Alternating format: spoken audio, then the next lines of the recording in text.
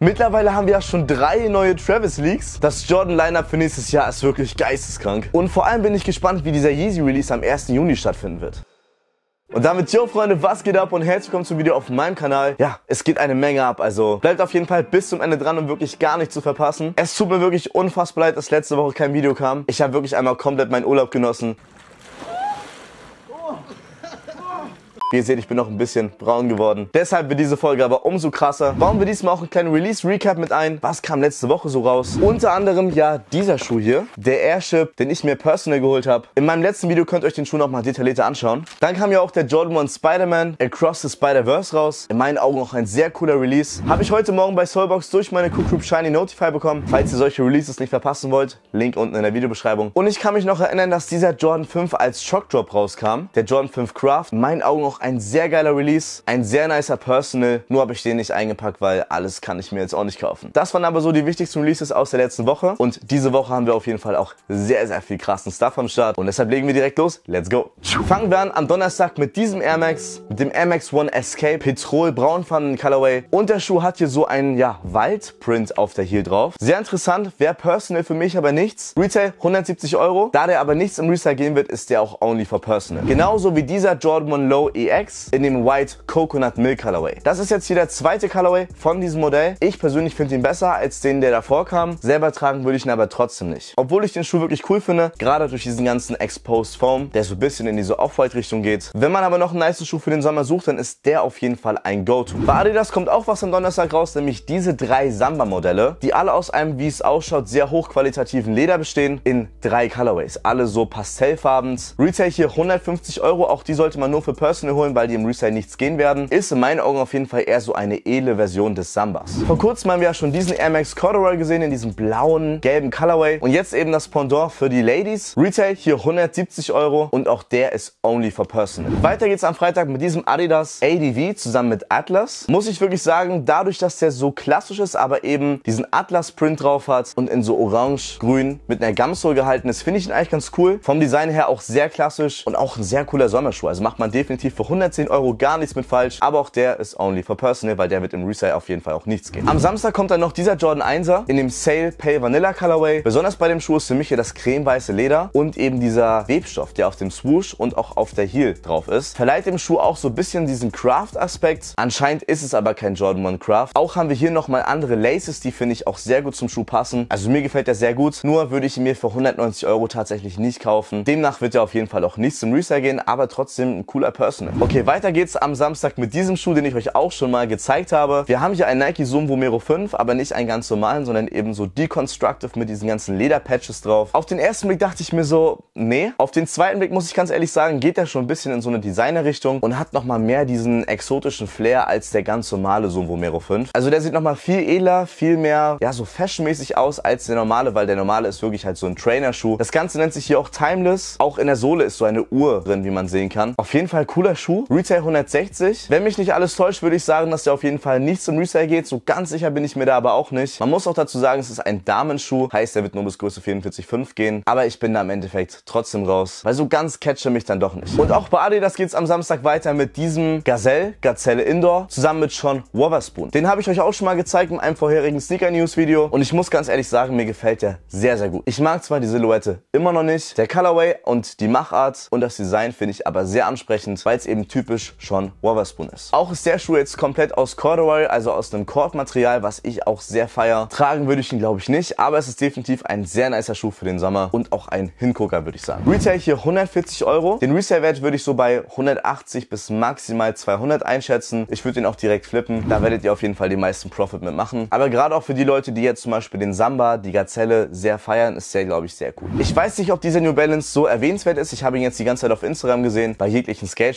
Shops. Aber das Ganze nennt sich hier New Balance Numeric Thiago Lemos 1010. Ist das eine Collab? Ich weiß es gerade gar nicht so genau. Auf jeden Fall ist das so der Skate-Schuh von New Balance und der kommt jetzt eben am 29.05. raus. Resale wird er glaube ich nicht haben, aber auch ein cooler Schuh für den Sommer und auch mal was komplett anderes von New Balance würde ich sagen. Und das wären auf jeden Fall auch so die wichtigsten Releases gewesen. Bei Supreme sieht es diese Woche jetzt auch gar nicht mal so schlecht aus, denn unter anderem kommt dieser Air Hockey Tisch raus, den ich mir auf jeden Fall einpacken werde. Wahrscheinlich wird er so um die 10.000 Euro kosten, aber ey, das ist ja ein Schnapper. Aber allein den in seiner Wohnung stehen zu haben, ist auf jeden Fall geisteskrank. Also ich kann mir auch vorstellen, dass es von dem vielleicht so zehn Stück gibt. Also viele wird es davon definitiv nicht geben. Ich weiß doch gar nicht, ob der geschippt wird, ob man den dann so easy online kaufen kann, aber es wäre auf jeden Fall sehr krass. Diese Archive Denim Jacket, die fand ich auch sehr krass, gerade in diesem ausgewaschenen Schwarz. Und eben passend dazu auch die Jeanshose, die ich auch sehr wild finde. Den Rest finde ich persönlich für mich nicht so ansprechend, aber trotzdem auf jeden Fall eine sehr solide Woche mit coolen, einzigartigen Pieces. Wollt ihr euch irgendwas holen? Schreibt es wie immer in die Kommentare.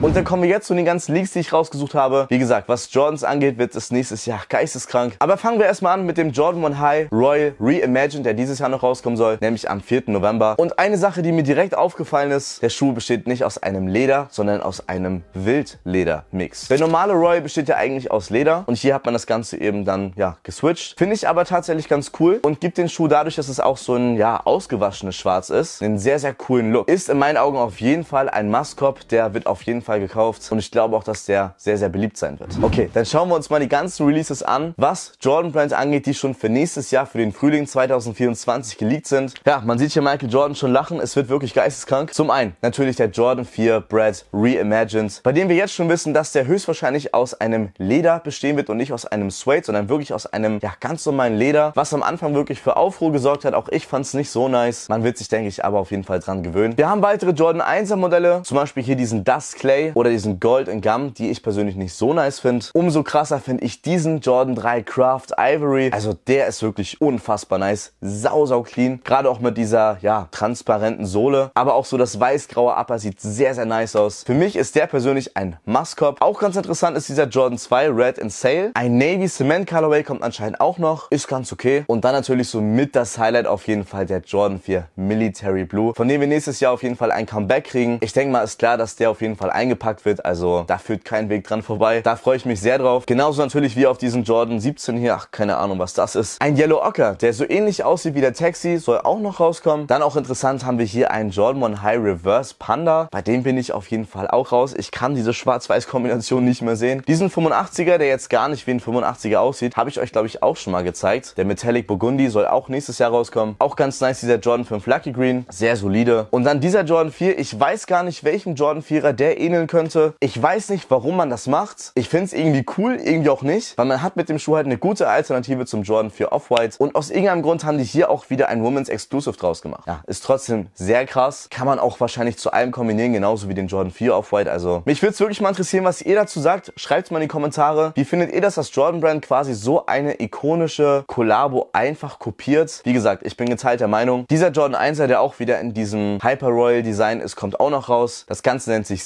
Seaglass, ist in so einem Minzgrün, sieht auch sehr nice aus. Ein 85er Low in dem Metallic Blue kommt auch noch raus. Und diesen Jordan 2-3 habe ich euch auch schon mal gezeigt. Der soll nächstes Jahr auch noch rauskommen. Also eins ist Fakt, auch wenn dieses Jahr geisteskrank wird, kann der Frühling aus dem nächsten Jahr wahrscheinlich schon wieder alles toppen. Da können wir uns auf jeden Fall auf eine Menge Sachen freuen. Weiter geht's mit diesem Jordan 1 Low Travis Scott. Man könnte jetzt denken, das ist der ganz normale Olive Colorway, aber nein, wir haben hier die Utopia Edition. Utopia ist irgendwie so ein neues Designkonzept von Travis und eins ist klar, der wird so nie rauskommen. Das ist eine Friends and Family Version beziehungsweise einfach nur ein Sample. Wäre der aber so rauskommen, glaube ich, wäre das sehr cool gewesen, weil ich finde diesen Print wirklich sehr, sehr nice. Was das hier auf der rechten Seite sein soll, weiß ich nicht. Ich habe es auch nicht herausgefunden. Es sieht irgendwie aus wie ein... Ach nee, lassen wir das. Wer jetzt aber gedacht hat, das war's mit Travis Scott Releases aus diesem Jahr, guckt euch diesen Dreier Jordan an, der wahrscheinlich Ende des Jahres rauskommen soll. Ich muss sagen, ich finde es ein bisschen zu Overload, ein bisschen überladen, ein bisschen too much, aber der Hype wird auf jeden Fall da sein und der Colorway ist auf jeden Fall auch sehr krass. Also kann man nichts gegen sagen. Wenn es dazu weitere Informationen gibt, sage ich euch auf jeden Fall Bescheid. Und so wie es aussieht, kriegen wir dieses Jahr auch noch einen weiteren Nike SB zusammen mit Travis Scott. Ob es jetzt Nike Dunk Low oder Nike Dunk High sein wird, das wissen wir noch nicht. Wir haben auch dazu noch keine Fotos. Ja, so wird er auf jeden Fall, denke ich, nicht aussehen, aber da können wir auch nur gespannt sein, was da kommt. Also ihr merkt, das Jahr wird geisteskrank. Und anscheinend bringt Travis auch noch eine komplett neue Silhouette auf den Markt, beziehungsweise trägt Travis hier bei irgendeiner Veranstaltung diesen Schuh. Und dieses Modell habe ich noch nie gesehen. Man kann auch sehen, hier ist auch wieder ein umgedrehter Swoosh drauf. Und ich dachte erst, es ist ein Jordan 4er, aber irgendwie ist es doch nochmal was komplett anderes. Aber auch da können wir nur auf neue Infos warten. Wenn ihr dazu nichts verpassen wollt, abonniert den Kanal und aktiviert die Glocke. Dann werdet ihr auf jeden Fall informiert, wenn es zu jeglichen Schuhen neue Informationen gibt. Von Jerry Lorenzo und Adidas hat man jetzt ja auch des Öfteren schon wieder was gehört. Zum einen ist das hier diese Basketball-Version, die wahrscheinlich rauskommen wird in mehreren Colorways. Ich muss ganz ehrlich sagen, meine Silhouette wird es auf jeden Fall nicht. Ich finde trotzdem das Lacing-System unfassbar interessant. Interessant mit diesen Rope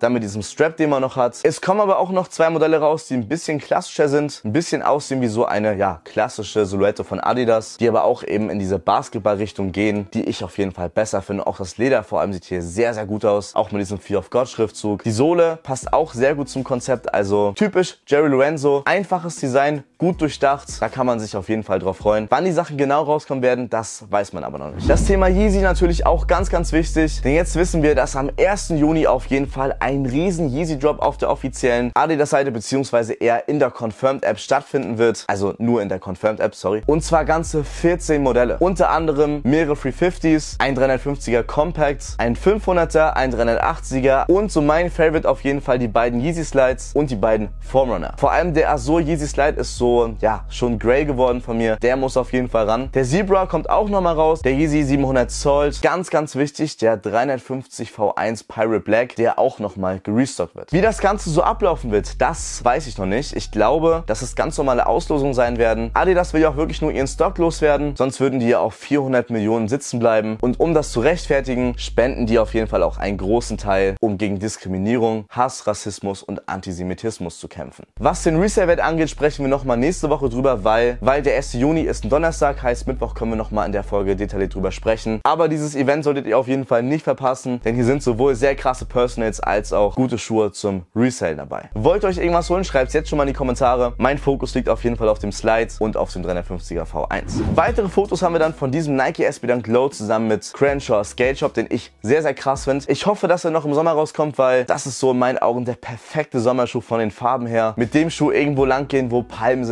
ey, das, das ist es, Jungs. Ich habe eben schon gesehen, der soll erst im Oktober rauskommen. Der wäre auf jeden Fall für den Sommer sehr, sehr krass gewesen. Dann ein Air Max Pack, was ich auch sehr nice fand, was auch noch dieses Jahr rauskommen soll. Das Ganze ist hier für den Puerto Rico Day, beinhaltet zwei Colorways und vor allem dieser blaue Colorway ist so unfassbar schön. Also allein dieser Gel Swoosh, dann dieses blaue Suede zusammen mit diesem ja, cremefarbenen Upper, was auch noch so eine Struktur drin hat. Ich kann mir aber vorstellen, dass der auf jeden Fall so ein bisschen auch mehr exclusive sein wird, dass man da nicht so easy rankommt. Aber wenn, dann ist es für mich auf jeden Fall ein Personal für den Sommer. Und der soll auf jeden Fall schon im Juni rauskommen. Und zu guter Letzt haben wir noch einen Leak für nächstes Jahr von diesem Nike SB Dunk Low. Wieder in diesem Gum-Concept-Design. Diesmal in so einem, ja, Navy-Ton. Finde ich auch sehr, sehr nice. Ich weiß nicht, ob ich mir den noch holen würde, weil so langsam habe ich mich auch ein bisschen satt gesehen, was diese Gumsoils angeht. Ja, wie gesagt, soll nächstes Jahr im Frühling rauskommen. Das wären auf jeden Fall alle wichtigen Informationen, alle Leaks gewesen. Schreibt wie immer in die Kommentare, was euer Favorite Release jetzt aus den nächsten sieben Tagen ist und vor allem auch, was euer Lieblingsleak ist. Worauf freut ihr euch am meisten? Lasst es mich wissen. Ansonsten, Freunde, danke fürs Zuschauen. Lasst dem Video gerne ein Like da. Abonniert den Kanal, aktiviert die Glocke, um keines solcher Videos mehr zu verpassen. Viel Glück bei allen Releases. Bleibt gesund, haut rein und bis zum nächsten Video.